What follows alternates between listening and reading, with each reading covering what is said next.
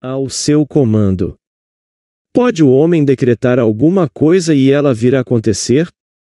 Mas que certamente que pode. O homem sempre decretou o que tem aparecido em seu mundo, e ele hoje continua decretando o que está aparecendo em seu mundo, e ele continuará a fazê-lo enquanto o homem for consciente de ser homem. Não há nada que tenha aparecido no mundo do homem, que ele não tenha decretado que deveria. Você pode até negar, tente se quiser, você não conseguirá provar o contrário, pois esta afirmação se baseia em um princípio imutável. Você não vai conseguir comandar as coisas que irão aparecer através de suas palavras ou através das suas declarações em voz alta. Tais vãs repetições frequentemente só confirmam o oposto do que se é dito. Um comando ou afirmação sempre será feito através da consciência. Ou seja, cada homem deve ser consciente daquilo que ele afirma para si mesmo. Uma nova perspectiva. Quando a Bíblia for lida nesta perspectiva, você perceberá que ela é o maior livro científico já escrito. Ao invés de olhar para a Bíblia como o registro histórico de uma antiga civilização ou como a biografia da vida em comum de Jesus, veja-a como um grande drama psicológico ocorrendo na consciência de cada homem. Tome isto para si, e quando menos esperar o seu mundo passará dos estéreis desertos do Egito à terra prometida de Canaã. A natureza de Deus. Todo mundo poderia concordar com a afirmação de que todas as coisas foram feitas por Deus e que sem ele nada poderia existir, porém, o que homem não consegue chegar a um consenso é sobre a identidade de Deus. Todas as igrejas e sacerdócios do mundo discordam quanto à verdadeira identidade e à natureza de Deus. A Bíblia prova, sem sombra de dúvida, que Moisés e os profetas estavam 100% em concordância quanto à identidade e à natureza de Deus. A vida e ensinamentos de Jesus também se seguiram de acordo com as conclusões dos profetas antigos. Moisés descobriu que a natureza de Deus está na consciência do ser humano ao ouvir estas palavras muito pouco compreendidas, e disse Deus a Moisés: Eu sou o que sou. Disse mais: E assim dirás aos filhos de Israel: Eu sou me enviou a vós. Êxodo 3, versículo 4. Davi cantou em seus salmos: Aquietai-vos e saibam que eu sou Deus. Salmos 46, versículo 10. Isaías declarou: E eu sou o Senhor, e não há ninguém acima de mim. Não há nenhum Deus ao meu lado. Eu te cingirei, ainda que tu não me conheças. Eu formei a luz e criei a escuridão, eu fiz a paz e criei o mal, eu, o Senhor, faço todas as coisas. Isaías 45, versículos 5 e 7. A consciência de ser como Deus é repetida centenas de vezes no Novo Testamento. Para citar apenas algumas, que eu sou o pastor, eu sou a porta, eu sou a ressurreição e a vida, eu sou o caminho, eu sou o alfa e o ômega, eu sou o princípio e o fim. E novamente, quem dizes que eu sou? Não está escrito, e eu, Jesus, sou a porta, eu, Jesus sou o caminho. E nem foi dito, quem dizes que eu, Jesus, sou? Está claramente escrito, eu sou o caminho. A consciência do ser é a porta através da qual as manifestações da vida passam antes de ganharem forma no mundo. A consciência é o poder da ressurreição, ressuscitando aquilo que o homem é consciente de ser. O homem está sempre concebendo o que ele é consciente de ser. Esta é a verdade que liberta o homem, pois é o próprio homem que sempre se aprisiona ou sempre se liberta. Eu e meu Pai somos um. Se você, leitor, desistir de todas as suas crenças antigas, de um Deus separado de você, e proclamar a Deus como a essência da sua consciência, como Jesus e os profetas fizeram, você irá transformar o seu mundo com a percepção de que, eu e meu Pai somos um. Estas afirmações, eu e meu Pai somos um, João 10, versículo 31, e, meu Pai é maior do que eu, João 14, versículo 28, parecem ser controversas, mas se interpretadas tendo em conta o que acabamos de dizer no que se diz respeito à identidade de Deus, você vai notar que elas são completamente esclarecedoras. A consciência, sendo Deus, é como um pai. Aquilo que você é consciente de ser é um filho, dando testemunho de seu um pai. É assim com o indivíduo e as suas concepções. O indivíduo sempre é maior que as suas concepções, no entanto, ele sempre será um só com elas. Por exemplo, Antes de você ser consciente de ser humano, você primeiro tem que ser consciente de apenas ser, de existir. Depois, em seguida, você se torna consciente de ser homem ou ser mulher. E você ainda continua, como indivíduo, acima de suas concepções, sendo humano, sendo homem ou sendo mulher, somando ainda todas as outras concepções que você tem de si mesmo. Jesus descobriu esta verdade gloriosa, declarando-se ser um com Deus, não um Deus que o homem tenha moldado, pois ele nunca reconheceu tal Deus. Ele disse: Se qualquer homem algum dia vier dizendo, procure aqui ou procure ali, não acredite nele, pois o reino de Deus está dentro de você. O céu está dentro de você. Portanto, quando foi registrado que a ele ascendeu até seu pai, foi dizendo que ele ascendeu em consciência ao ponto onde ele se tornou apenas consciente de ser, transcendendo assim as limitações de sua presente concepção de si mesmo, chamada em Jesus. Seja aquilo o que você deseja ser. Quando se é consciente de apenas ser, todas as coisas são possíveis, ele disse, tudo que determinardes realizar, dará certo. Jó 22, versículo 28. Esta deve ser a sua determinação, elevar a sua consciência à naturalidade de ser aquilo que você deseja ser. Como ele expressou, e eu, se me erguer sobre a terra, atrairei todas as pessoas até mim. João 12, versículo 32. Se eu erguer minha consciência à naturalidade daquilo que eu desejo, atrairei a manifestação do que desejo para mim. Pois ele afirma: Nenhum homem vem a mim sem que o Pai dentro de mim o tenha chamado, e eu e meu Pai somos um. Portanto, a consciência é o Pai que está atraindo as manifestações da vida até você. Você está, neste momento, atraindo para si e para o seu mundo tudo aquilo que você está consciente de ser neste momento. Agora você sabe o que se quis dizer com em você precisa nascer de novo. João 3, Versículo 7. Se você estiver insatisfeito com sua situação atual na vida, a única maneira de mudar isso é tirar a sua atenção das causas que parecem reais para você e desenvolver a sua consciência de ser aquilo que você deseja ser. Você não pode servir a dois senhores, portanto, para tirar o seu foco de um estado de consciência e direcioná-lo para outro, é o mesmo que morrer para um e viver para o outro. A pergunta: Quem dizes que eu sou? Lucas 9, versículo 20, não foi feita por um homem chamado a Jesus a um homem chamado a Pedro. Esta é a eterna pergunta que é feita pela sua verdadeira essência ao seu ego. Em outras palavras, quem dizes que és? Pois a sua autoconvicção, a sua opinião sobre si próprio, é o que irá determinar sua expressão na vida. Ele disse: Você acredita em Deus, crede também em mim. Em outras palavras, em a mim, dentro de você, está este Deus.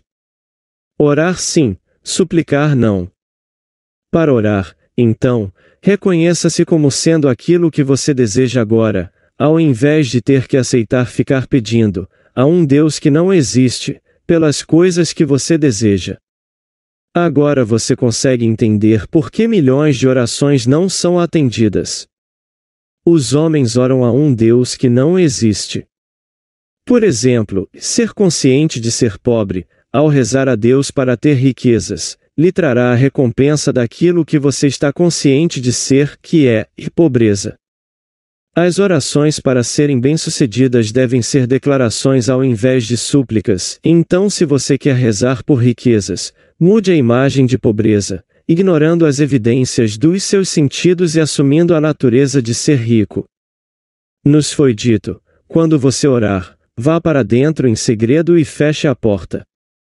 Pois aquilo que o teu pai ver em segredo, te será dado abertamente em recompensa. Mateus 6, versículo 6. E aqui, nós identificamos o pai como sendo a consciência de ser. Eu sou o caminho. Também identificamos a importa como sendo a consciência do ser. Então, fechar a porta significa desligar-se do que eu estou consciente de ser agora e então declarar ser o que eu desejo ser. A partir do momento em que a minha reivindicação for estabelecida ao ponto de se tornar uma convicção, eu começo a atrair para mim as evidências daquilo que é afirmado. Não se questionem como as coisas vão acontecer, pois nenhum homem sabe disso. Ou seja, ninguém sabe de que maneira as coisas desejadas irão aparecer. A consciência é o caminho ou a porta através da qual as coisas aparecem. Ele disse: Eu sou o caminho, e não, e eu, José da Silva, sou o caminho. Mas a eu sou, a consciência de ser, o caminho através do qual tudo tem que passar. Os sinais sempre sucedem, eles nunca precedem. Nada que esteja fora da sua consciência existe em seu mundo. Portanto, obtenha primeiro a consciência, e as coisas serão compelidas a existir. Foi dito a você: buscai primeiro o reino dos céus, e todas as coisas vos serão acrescentadas. Consiga primeiro a consciência das coisas que você está procurando e deixe que elas se desenvolvam naturalmente. Isto é o que se entende por e tudo que determinardes realizar, dará certo. O princípio da concepção. Aplique este princípio e você saberá o que é a crer para ver. A história de Maria é a história de cada homem. Maria não foi uma mulher que deu à luz, de uma maneira milagrosa, alguém chamado em Jesus. Maria é a consciência de ser que sempre permanece virgem, não importa quantos desejos ela dê à luz. Olhe para si mesmo como esta Virgem Maria a partir de agora, sendo fecundado através do seu próprio desejo, tornando-se unido a este desejo ao ponto de incorporá-lo ou de dar à luz a ele. Por exemplo, foi dito que Maria, que você agora sabe que é uma referência a você mesmo, nunca tinha estado com um homem. E ainda assim ela deu à luz. Ou seja, você, João da Silva, não tem nenhuma razão para acreditar que aquilo que você deseja agora será algo possível, mas como você descobriu a sua consciência de si como parte de Deus, faça desta consciência o seu esposo e conceba um filho, uma manifestação do Senhor.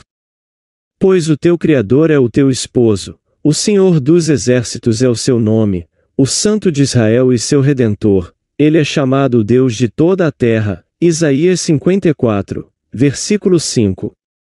O seu ideal ou ambição é esta concepção, o primeiro comando a ela, que agora também é dado a você, é, e vá, e não conte nada a ninguém. Ou seja, não discuta suas ambições ou desejos com outras pessoas, pois elas só irão ecoar os medos presentes em você. O sigilo é a primeira lei a ser observada para a realização do seu desejo. O segundo ponto, conforme lemos a história de Maria, é: E disse então Maria, e a minha alma engrandece ao Senhor. Lucas 1, versículo 46. Nós identificamos o Senhor como sua consciência de ser. Portanto, engrandecer o Senhor é o mesmo que reavaliar ou elevar a sua atual concepção de si mesmo até o ponto onde essa reavaliação se torne natural. Quando essa naturalidade for alcançada, você dará à luz, tornando-se aquilo que você está unido em consciência. A criação de todas as coisas. A história da criação nos é contada de forma resumida no primeiro capítulo de João. No princípio estava o Verbo, e o Verbo estava com Deus, e o Verbo era Deus. João 1, versículo 1. O agora, este exato momento, é um princípio referido neste versículo. É o princípio de uma necessidade, de um desejo. O Verbo é o desejo que sonda a sua consciência, buscando por sua personificação. A necessidade por si mesma não possui realidade, pois o eu sou, ou a consciência de ser, é a única realidade. As coisas que eu desejo ser só ganham vida no momento em que eu me torno consciente de sê-las, então, para a realização de um desejo, observa-se a segunda parte deste primeiro versículo de João. Ou seja, e o Verbo estava com Deus. O Verbo, ou desejo, deve estar fixado ou unido com a consciência para que ele possa ganhar realidade. A consciência se torna ciente de ser a coisa desejada, acentuando então a sua forma, dando vida à sua concepção, ou ressuscitando aquilo que até então era apenas um desejo morto ou não realizado. Se dois dentre vós concordarem na terra em qualquer assunto sobre o qual pedirem, isso lhe será feito por meu Pai que está nos céus. Mateus 18, versículo 19. Este acordo nunca será feito entre duas pessoas, mas sim entre a sua consciência e o objetivo do seu desejo. Você sabe agora que você é consciente de ser, saiba então que você sempre está comandando a si mesmo, mesmo sem o uso das palavras a eu sou. Se por acaso for um estado de saúde que você deseja alcançar agora, antes mesmo que você tenha qualquer evidência de saúde em seu mundo, você deve começar a sentir-se ser saudável. No exato momento em que a sensação de que eu sou saudável a for atingida, os dois concordaram. Ou seja, eu sou, e saudável, concordaram em ser um só. E este acordo sempre resultará no nascimento de um filho, que é o objetivo deste acordo, neste caso, saúde. E porque você selou o acordo, é você mesmo quem o executará. Assim você pode entender por que Moisés declarou: E eu sou me enviou a vós. Pois quem além de mim, além de eu sou, me enviaria? Ninguém, pois eu sou o Senhor, e não há ninguém acima de mim. Não há nenhum Deus ao meu lado. Se você criar asas e voar aos confins do mundo, ou se você fizer da sua vida um inferno, você ainda será consciente de ser, você sempre expressará aquilo que está na essência da sua consciência, e a sua expressão sempre será a essência desta consciência. E novamente, Moisés declarou: E eu sou o que sou. Isto é algo para sempre se ter em mente. Você não deve colocar vinho novo em garrafas velhas.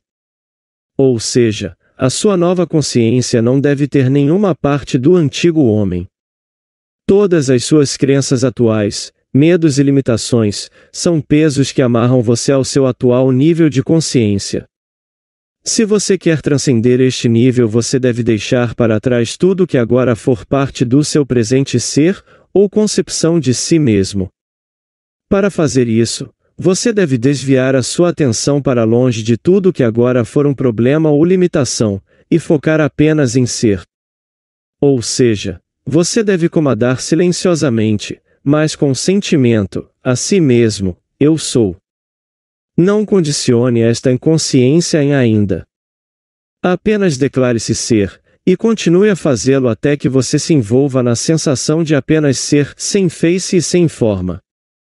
Quando esta expansão de consciência for alcançada, então, nesta profunda essência de si mesmo, Dê forma e aspecto à sua nova concepção, sentindo-se ser aquilo que você deseja ser. Você vai descobrir dentro desta profunda essência de si, que todas as coisas são divinamente possíveis. Tudo aquilo que você puder conceber ser neste mundo, será uma realização mais do que natural para você nesta nova e atual essência da consciência. Este é o convite que nos foi feito nas Escrituras, é a ficar ausente do corpo, para ficar presente ao Senhor, segundo Coríntios 5, versículo 8. O incorpo é a sua antiga concepção de si mesmo, e o Senhor é a sua consciência de ser. Isto é o que se entende quando Jesus disse para Nicodemos: Em verdade, em verdade eu vos digo, aquele que não nascer de novo, não verá o reino de Deus. João 3, versículo 3. Isto é, A não ser que você abandone a sua atual concepção de si mesmo e passe a assumir um caráter de um novo nascimento, você continuará a projetar as suas atuais limitações. A única maneira de mudar as suas expressões na vida é mudando sua consciência, pois a sua consciência é a realidade que eternamente se solidifica nas coisas que o cercam. O mundo do homem é projetado em cada detalhe a partir da sua consciência.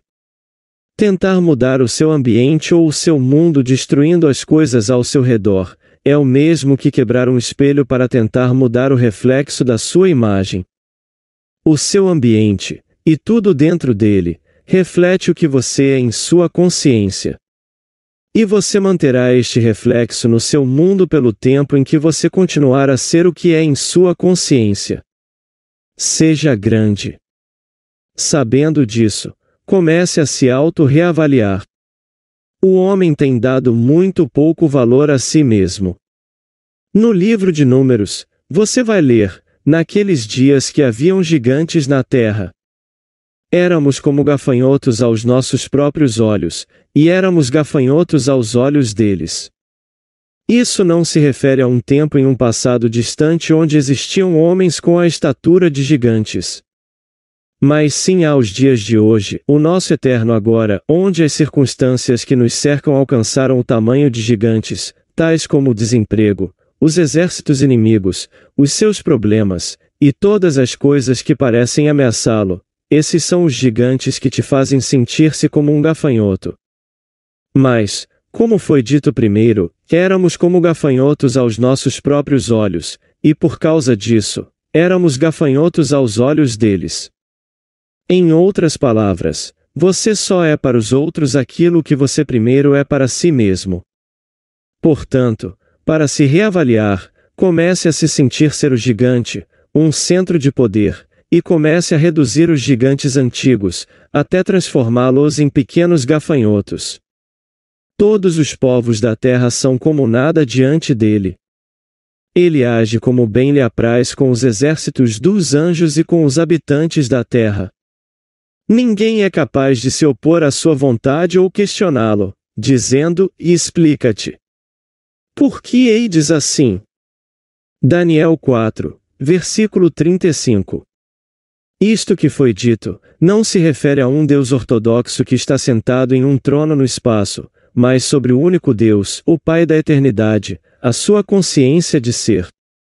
Então, desperte o poder que você tem, não como homem, mas como seu verdadeiro eu, uma consciência sem forma e sem face, e liberta-te da tua prisão autoimposta.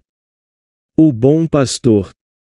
Eu sou o bom pastor e conheço as minhas ovelhas e elas me conhecem. João 10, versículo 15. Minhas ovelhas escutam a minha voz, e eu as conheço, e elas me seguem.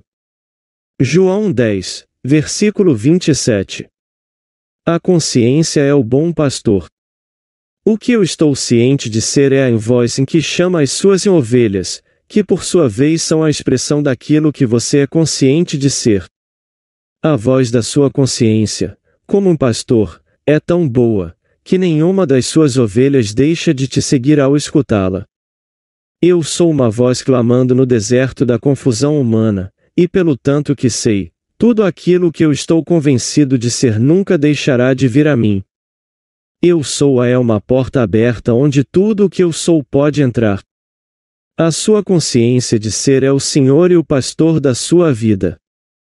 Então a afirmação, o Senhor é meu pastor, nada me faltará, Salmos 23, versículo 1, agora será vista na sua verdadeira luz, sendo a sua consciência. Você nunca está carente de evidências ou com falta de provas daquilo que você está ciente de ser.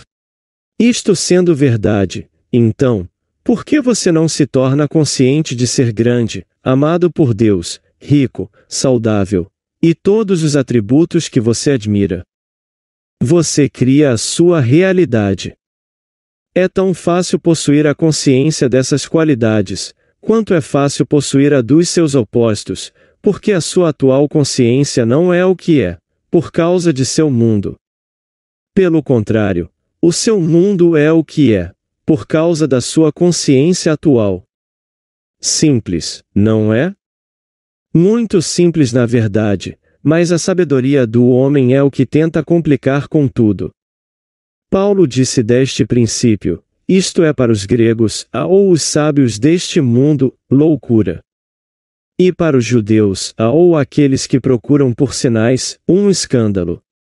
E como resultado, o homem continua a andar na escuridão, ao invés de despertar para o ser que ele é de verdade. O homem tem há tanto tempo adorado as imagens de sua própria autoria, que logo de cara ele considera esta revelação uma blasfêmia, pois ela significaria a morte para todas as suas crenças anteriores em um Deus externo a si mesmo. Esta revelação traria o conhecimento de que eu e meu Pai somos um, mas meu Pai é maior do que eu. Você é um com a sua atual concepção de si mesmo. Mas você é maior do que aquilo que você está atualmente consciente de ser. Antes que o homem possa tentar transformar o seu mundo, ele deve primeiro estabelecer a sua base: Eu sou o Senhor. Ou seja, a consciência do homem, a sua consciência de ser, é Deus. A não ser que isto esteja firmemente estabelecido, a tal ponto que nenhuma sugestão ou argumento apresentados por outros possa estremecê-lo, ele pode flagrar-se retornando para a escravidão das suas antigas crenças. Por isso, eu vos afirmei que morrereis em vossos pecados. Se vós não crerdes que eu sou, certamente morrereis em vossos pecados. João 8, versículo 24. Ou seja, você continuará a ser confuso e frustrado, até encontrar a causa de sua confusão. Quando você se elevar sobre o Filho do Homem, então, você saberá que eu sou ele. Ou seja, João da Silva não pode fazer nada por mim, mas meu Pai, ou o estado de consciência de que agora eu sou um, é quem cumpre a missão. Eis que estou à porta e bato. Quando isso for percebido, Cada vontade e desejo que brota dentro de você deve encontrar expressão no seu mundo. Eis que estou à porta e bato. Se alguém ouvir a minha voz e abrir a porta, eu entrarei em sua casa e jantarei com ele, e ele comigo. Apocalipse 3, versículo 20. O a eu abatendo a porta é o seu desejo. A porta é a sua consciência. Abrir a porta é tornar-se um só com aquele que está batendo, sentindo-se ser a coisa desejada. Sentir que o seu desejo é impossível é o mesmo que fechar a porta ou negar essa expressão da sua vontade. Elevar a sua consciência para a naturalidade daquilo que você sente, significa abrir completamente a porta e convidar este desejo para a sua expressão. A ascender até seu Pai. É por isso que tantas vezes foi registrado que Jesus deixou o mundo da manifestação e ascendeu-a até seu Pai. Jesus, como você e eu, achava que todas as coisas eram impossíveis para em Jesus como homem. Mas por ele ter descoberto que seu pai estava no estado de consciência do objetivo desejado, ele deixava para trás a consciência de Jesus e ascendia na consciência do estado desejado, e permanecia nele até que ele se tornasse um só com ele. Ao conseguir isso, ele transformava o mesmo em expressão. Esta é a mensagem simples de Jesus e ao homem. Os homens são apenas vestimentas aonde o ser impessoal habita. O eu sou, a presença a qual os homens chamam de Deus. Cada vestimenta tem certas limitações. Na tentativa de transcender estas limitações, e para dar expressão a isto que como homem, João da Silva, em você se acha incapaz de realizar, você pode voltar a sua atenção para longe das suas atuais limitações, ou da concepção de ser em João da Silva, e influir-se na sensação de ser o que você deseja. Meios que tu não conheces. Saber como este desejo ou esta nova consciência será personificada, nenhum homem sabe. Pois a eu, ou a consciência recentemente alcançada, tenho meios que tu não conheces, meus caminhos só se revelam a quem passar por eles. Não especule a respeito de como essa consciência irá se encarnar, pois nenhum homem é sábio bastante para saber como. a especulação é prova de que nós não atingimos a naturalidade de ser a coisa desejada, e que então estamos cheios de dúvidas. Foi dito a você, e àquele que tem falta de sabedoria, peça a Deus, que a todos concede liberalmente com grande alegria. Peça, porém, com fé, não duvidando, pois aquele que duvida é semelhante à onda do mar, agitada e levada pelos ventos. Tiago 1, versículo 5.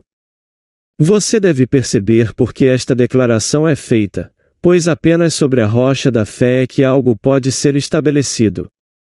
Se você não tem consciência sobre determinada coisa, você não tem a fundação ou alicerce sobre a qual ela é erguida.